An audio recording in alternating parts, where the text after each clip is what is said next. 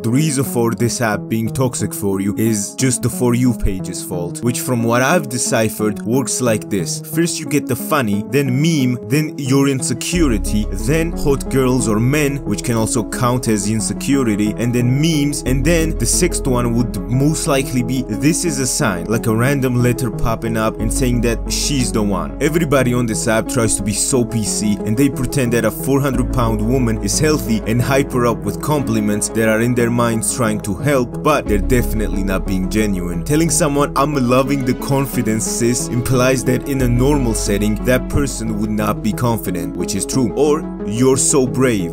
You're so brave for wearing a dress? Like come on man, that's just a straight up roast at that point. People who are at an unhealthy weight should lose or gain weight for their own good, but what they do with their bodies is up to them. Neither me or you are the body fat cop, the cholesterol patrol, the scale sheriff, okay? The real problem comes when they actually healthy people develop unrealistic expectations on how they should look. You might be watching this and most likely you think you're not beautiful enough. If you're a man, you might think you don't have a six pack, you could always have broader shoulders, bigger muscles.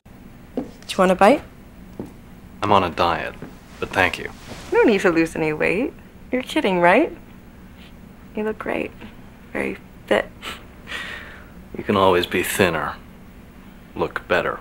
And if you're a woman watching this, you might think you need to hit the gym because men only like big booty hoes with fat tits and fatter asses. The weirdest thing is that 18 year old girls are getting BBL surgeries which has the highest death rate in cosmetology. 1 in 3000 patients die because of this surgery all because girls want to look better and don't think they're good looking enough and want bigger asses without actually doing any work. And you can't really blame anyone for not feeling good looking enough. If you're on TikTok like most young adults are, you're constantly bombarded with extremely hot men and girls. Here's the thing about happiness boys, let me just quote Yale on this one. All of them started this program because they thought that weight loss was going to make them happy, right?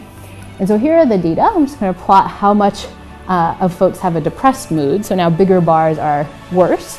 And so here's folks that lose weight, folks that are stable on their weight, and folks that gain weight. And at baseline, they're about the same. But four years later, in fact, the folks that lost weight are actually in the worst category. They're the ones reporting the most depressed mood.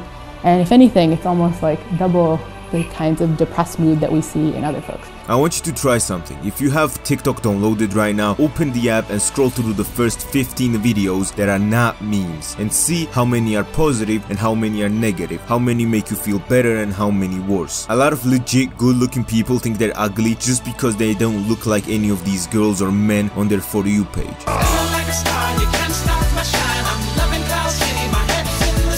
There is so much stupid shit on TikTok, it's absolutely unbelievable. It's like something about a Chinese spyware app attracting insane people. And ironically, these are stupider than my drunk tweets and that's a hard case to fucking beat. I once was a young man, still am, when I was younger I thought astrology was weird. But this doesn't even compare bro. Once you go through your fair share of talking to art hoes, you will inevitably arrive at witches. WitchTok, as it's called, is where people share crystals, tarot card readings, spells, and magic. Like, am I the fucking idiot here for not believing that magic exists? And honestly, when a person you know in real life that you've thought was sane to some degree starts speaking to you about crystals or spells, it's just so disappointing. If anyone can find me any proof that crystals work, I will get on my knees and deep throat his dick so bad I puke. I really don't want to go into WitchTok too much. It's it's a it's a very large, very weird thing. So for you people that don't know what reality shifting is, it's a way to move your consciousness from your current reality to your desired reality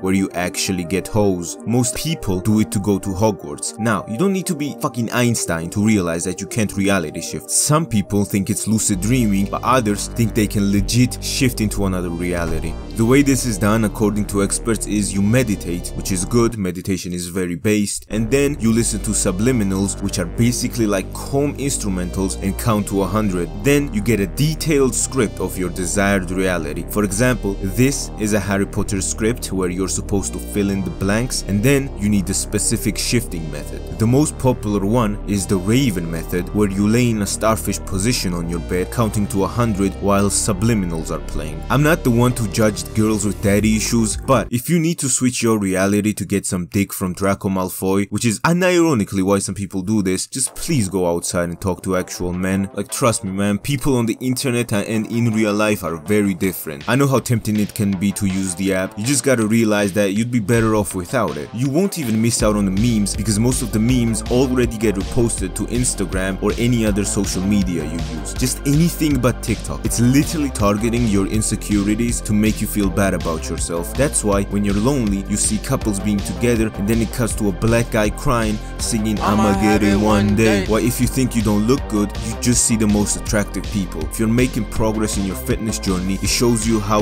other people made better progress. Basically, fuck TikTok. I don't know what kind of Chinese spyware engineering magic the app uses, but it clearly knows a lot about its user. I've had it deleted for a few months now, and trust me, I am not missing out on anything. So do yourself a favor and delete the app for your own mental health. Like and subscribe, goodbye.